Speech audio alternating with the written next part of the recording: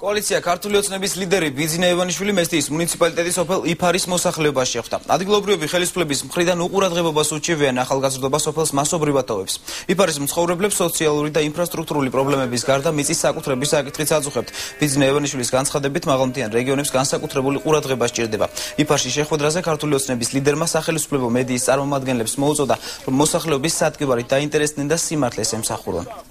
მე არც ერთ ჩემიანის პასპორტი აკეთებენ პოლიციელები. საერთოდ არაფერი არ გაკეთებულა, საერთოდ მიგდებული ვარ. ორს არ ბერწყავენ. სამაგიეროთ მესტიის ცენტრში შემობატონო აშენეს უზარმაზარი საშუალო და გაგიჟებული არიან მესტიელები. ფენი მედია სოფელიფას როგორმე ერთმანეთს მაძმას დააჯახონ. მართალია. დააპირისპირონ ერთმანეთს ერთი სოფლის ხალხი. აი ეს არის იდეოლოგია. აი ეს აი მას უნდა უთხრათ თუ არის. რომ ჩვენ ყველანი ამ ქვეყნის შვილები ვართ. ყველას უნდა გვეცხოვრებოდეს აქ პოზიცია თუ ოპოზიცია. ოპოზიციას როგორ პატისაც მცემთ და როგორ მაგალითად შევქმნით ჩვენ როდესაც მოვალთ. აი ამასაც ვაჩვენებთ ჩვენ რომ როგორ ღირსეულად მოვეკიდებით ჩვენს ოპონენტს. მამა პაპური ჰა ха ოშკირო თავრობამ წაგართვას და უფლება არ აქვს ციგნით რაღაცა რო გახსნა.